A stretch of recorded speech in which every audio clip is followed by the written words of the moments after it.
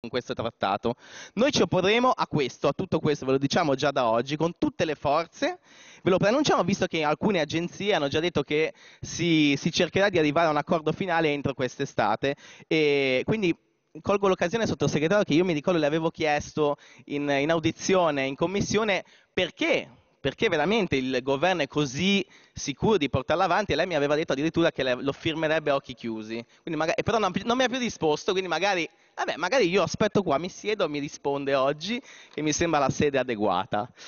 Comunque, eh, nella vostra relazione indicate questo trattato come necessario e vantaggioso per la nostra economia. Quindi, ripeto, verrà veramente una risposta del governo su questa cosa.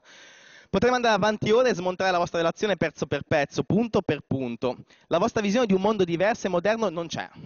State barattando quel poco che ci rimane in cambio di qualche punto percentuale. State minando la stabilità di un paese che vacilla sempre di più. State continuando ad aiutare chi vi ha garantito un bacino di voti e state abbandonando i cittadini, come sempre. Grazie.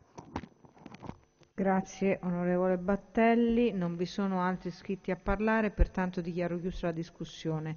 Avverto che sono state presentate le risoluzioni Berlinghieri, Alli, Capo e Sbern numero 6 233 223, scusate.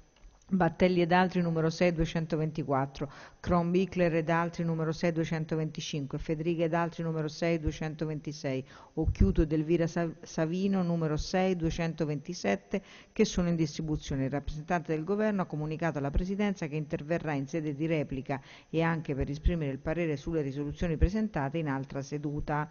Il seguito del dibattito è rinviato ad altra seduta.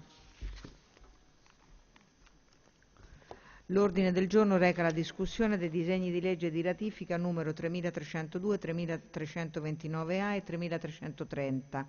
Avverto che lo schema recante la ripartizione dei tempi di tali disegni di legge è pubblicato in calce al vigente calendario dei lavori dell'Assemblea.